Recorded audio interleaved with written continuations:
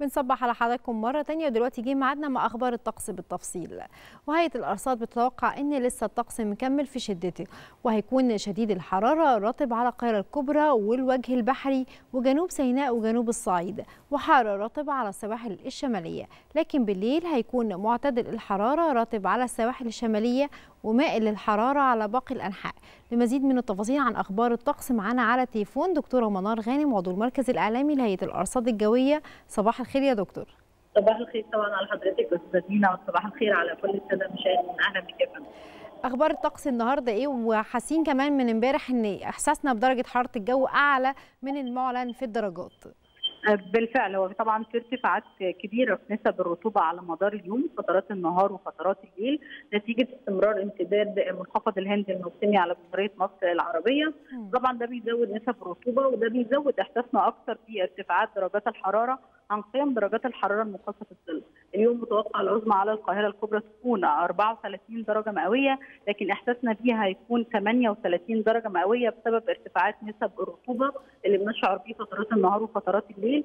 إحساسنا بالطقس خلال فترة النهار طقس شديد الحرارة رطب على القاهرة الكبرى محافظات الوجه البحري محافظات شمال وجنوب الصعيد وأيضا جنوب سيناء طقس حر رطب على سواحلنا الشمالية وده أغلب المناطق المطله على البحر المتوسط خلال فترات الليل ومع غياب أشعة الشمس أيضا بنشعر بارتفاعات نسب الرطوبه وبنحس بالأجواء المائلة للحرارة على أغلب مناطق الجمهورية خلال فترات الليل، أجواء مائلة للحراره كمان خلال فترات الليل. لكن في بعض فترات المساء يعني تحديدا مع ساعات المغرب والساعات الأولى من الليل بيبقى في نشاط لرياح سرعته ما بين ال 30 إلى ال 40 كم على الساعة نشاط الرياح ده بيقلل إحساسنا بنسب الرطوبه خلال فترات المساء تحديدا لكن باقي ساعات الليل بيبقى فيه سرعات الرياح معاه احساس بنسب الرطوبه عشان كده في شبورة مائية خفيفة بتتكون على الطرق الزراعية والسريعة والقريبة من المسطحات المائية وبتؤدي لانخفاض الرؤيه الأفقية على أغلب الطرق دي. مهم جدا ناخد بالنا منها. هي معاد تكون الشبورة المائية دايما بتكون في الساعات المتأخرة من الليل صحيح. يعني تقريبا 3 4 الفجر وتستمر حتى سطوع اشعه الشمس عايزين نطمن على حالة البحر الأبيض المتوسط والأحمر وكمان هل في موجات حاره قادمة هيتم رصدها على خرائط الطقس خلال العشر أيام القادمة؟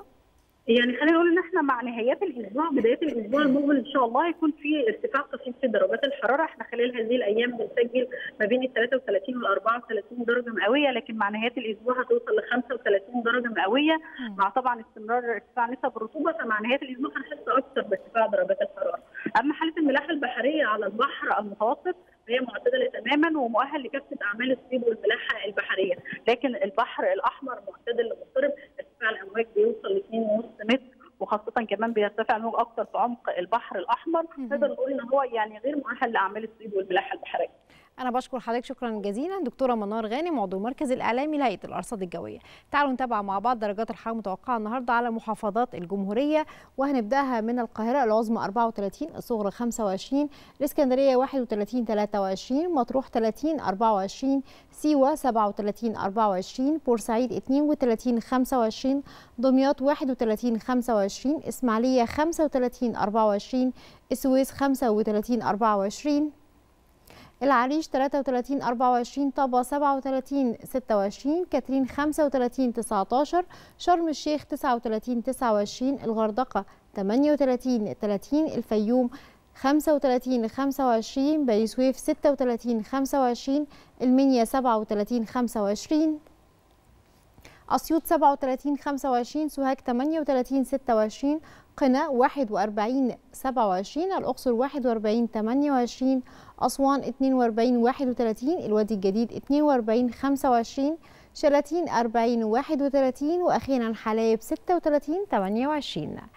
بكده حاولنا نطمن حضراتكم على حالة الجو بالتفصيل النهارده وخلال الكام يوم الجايين. برجع مرة تانية لجمانة ومصطفى علشان نكمل معكم فقرات صباحية مصر. شكرا لك يا دينا شكرا